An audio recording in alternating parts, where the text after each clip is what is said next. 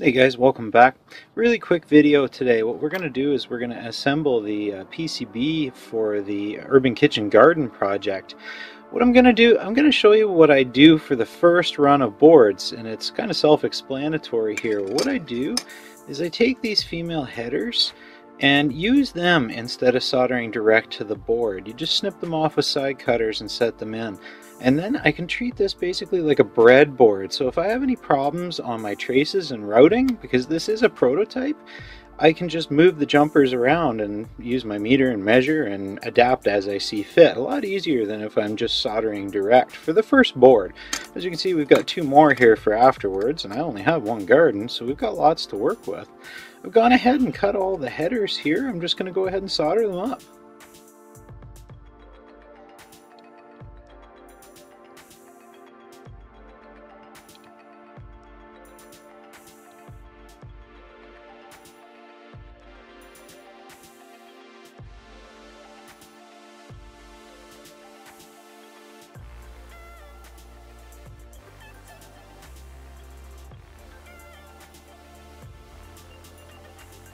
And that is it. We've gone ahead, we've soldered them all.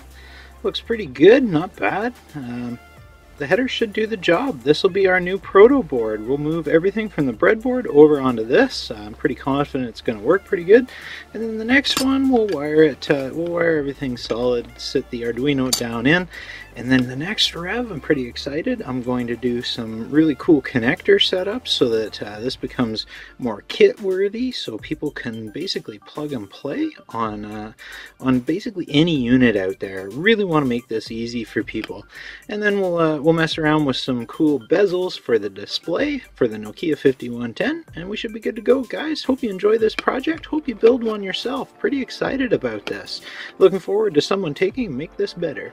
Cheers.